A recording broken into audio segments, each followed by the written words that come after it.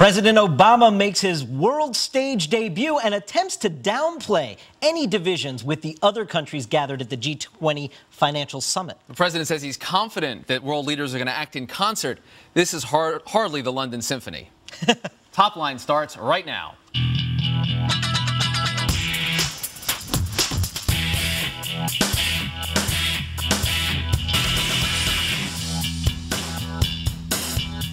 Welcome to ABCNews.com's Top Line. I'm David Chalian, joined here with Rick Klein. We'll be here every weekday at noon Eastern to bring you the latest political headlines and analysis, the stuff driving the day right before you head out the door to lunch. And we want you to be part of the conversation as well. Join us via Twitter at The Note. That's one word, The Note.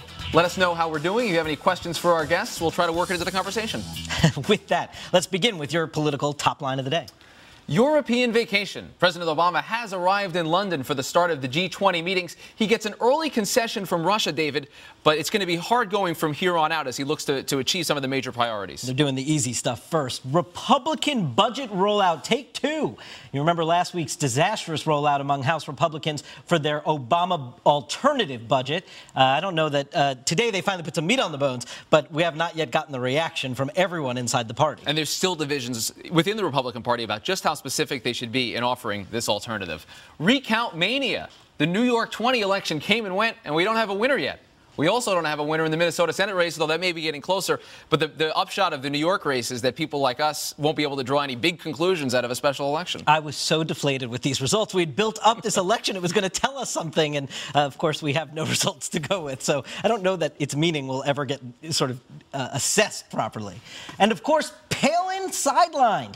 Republican Party leaders have basically fired Sarah Palin as their headlining guest at a fundraiser dinner in June. She said she would be there initially, then, oh, I can't agree to that. Newt Gingrich has now been hired to take her slot. Oh, there you go. This Anchorage versus Washington brain trust has got to be worked out if Sarah Palin is going to be a contender in 2012 or beyond. And it's not the biggest news out of Alaska today. We'll talk about that Ted Stevens decision with Attorney General Eric Holder basically throwing out his conviction.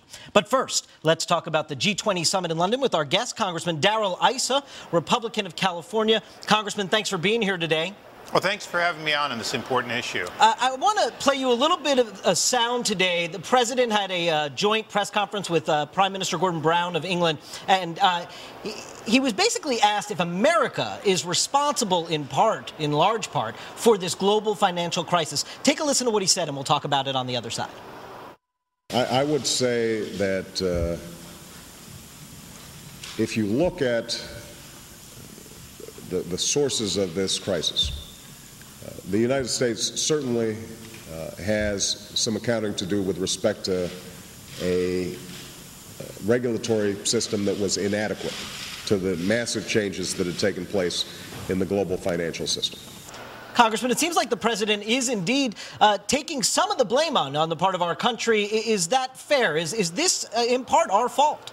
Well, I think he's certainly casting blame on the previous administration by talking about regulation rather than taking what is probably a more legitimate credit, which is, uh, or blame, which is that we, we created these products, we exported these products. These were major uh, things that were touted by our financial service community on a global basis, and we helped in no small way run up these same sort of uh, instrument debts uh, in other countries. And I would, would have wished he would have said that because it wasn't a secret or an absence of regulation. It was something America was, for better or worse, proud of until we realized the downside of it.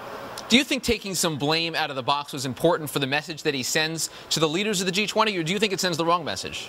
Well, I think it sends the right message to say that America realizes that these instruments and the concept of these instruments, to no small degree, originated in the United States and were bought off uh, by other countries to be used there, like in Ireland. And also, a lot of countries were left holding American paper. So I think he has to get beyond that when he talks about us getting out of a, uh, a worsening global recession that is no longer just credit based.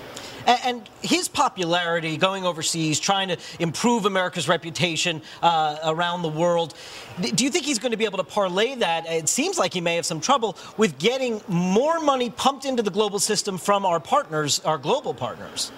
Well, I think if, if uh, President Obama were to act more like a Ronald Reagan, uh, a champion of greatness of our country and of free enterprise and of what we can do, I think he would get more support and be very popular. Right now, he's tending to say the previous administration was bad and I'm less bad, and that's not necessarily what the Germans, the French, or the British really want to hear. Congressman Issa, I want to ask you about the Republican budget proposal. Finally, today we see some numbers, an actual budget proposal from House Republicans. Uh, the, the Office of Management and Budget did a quick read on it, and they found that uh, this is an additional $4 trillion in tax cuts. I want to ask you, why is that the right course when the Bush tax cuts uh, seem not to have prevented the economic downturn that we're in right now? Well, first of all, uh, I don't think this uh, this budget proposal that my own party is putting out is ambitious enough on the cutting back in spending and the reducing of the deficit. So I would like to both on the tax side and on the uh, spending side see a more ambitious uh, package. But when you look at this package compared to uh, the Democratic proposal, the Democratic proposal spends more, taxes more, and pushes more onto future debt. And that's really the challenge: is doubling the the national debt in the the next five years. In other words, spending more in deficit than all other presidents, including George W. Bush combined.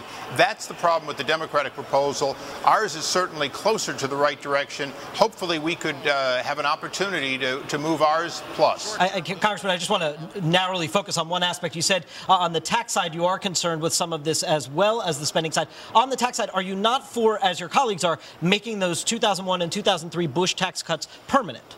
Well, I think I think we have to do all or, or most of that. I, I, really do believe making them permanent makes a lot of sense because it brings certainty to the market. And if you can't make them all permanent, you certainly need to make most of them permanent. And I think that's where President Obama's on the wrong track. America prospered because of those tax cuts. We did other things wrong, but the economy was booming for a good reason because lower taxes meant people were able to invest more money in their businesses and in spending. But the part they invested in their businesses is the part we need to continue to have happen going forward. So I think it's the reason that the Republican pro proposal brings certainty to that process, uh, that people can count on capital gains and other favorable treatment going forward so they can make logical investments. Congressman Darrell Issa, Republican of California, thanks for being with us. You're very welcome. So, David, just a taste right there of some of the divisions still within the party. Congressman Issa, just, a, just about an hour or two ago, Republican leaders put, put forward their budget. He's saying, well, not necessarily my budget. Yes, although it sounds like he's on board with the philosophical principles behind their budget of what they're putting out there. He's certainly, uh, as he said, a whole lot closer uh, to his own party. No question about that. And we're also seeing a split right now in the Senate. Senate leadership not bringing forward their own budget proposal, but Senator John McCain says he wants to do it, and he may do just that, despite Mitch McConnell saying we don't have any interest in playing that game. And of course, John McCain has the ability to get a lot of attention on that kind of alternative budget. That's exactly right. And, and, it becomes a rallying point for, I think, some of the divisions within the party about how specific to be. But aren't they taking the Democratic Party bait when, isn't John McCain and, uh, and the Republican House leaders, don't they take the Democratic Party bait when they're, by putting up an alternative budget? They're not in the majority. It's not their job to propose a budget. Why are they taking the bait? They're taking the bait because I think they're stung by this whole party of no thing that Barack Obama has put out there as a label for everything the Republicans do. They need to take away that talking point.